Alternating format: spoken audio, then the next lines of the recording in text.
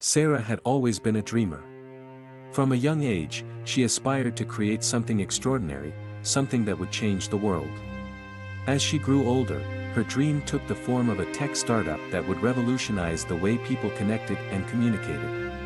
With unwavering determination, Sarah embarked on her entrepreneurial journey. She poured her heart and soul into developing her idea, working tirelessly day and night. But as she delved deeper into the business world, she realized that building a successful startup was not just about having a great idea, it required funding and support. Sarah pitched her idea to numerous investors, hoping to secure the capital needed to bring her vision to life. However, rejection after rejection became her daily routine. Some investors didn't believe in her concept, while others doubted her ability to execute it. Sarah's dream seemed to be slipping away, and despair loomed on the horizon.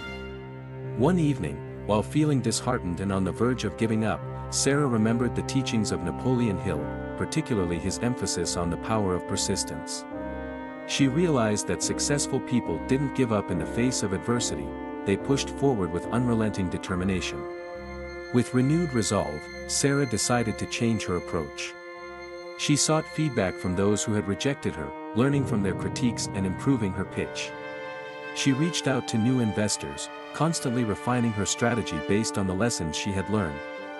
Months turned into years, and the rejection letters continued to pile up. But Sarah refused to waver. She knew that every no brought her one step closer to a yes. She maintained her belief in her vision and her unwavering persistence.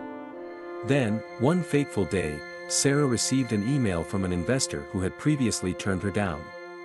They had been watching her journey, impressed by her resilience and determination.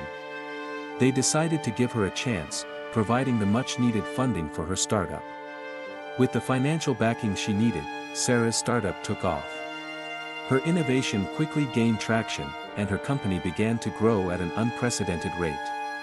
Sarah's dream, which had once seemed out of reach, was now a reality. The story of Sarah's persistence served as an inspiration to aspiring entrepreneurs everywhere.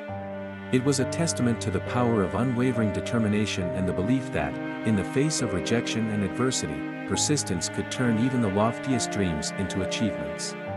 Sarah's journey was a living embodiment of Napoleon Hill's teachings, proving that those who persisted with purpose and passion could indeed achieve greatness.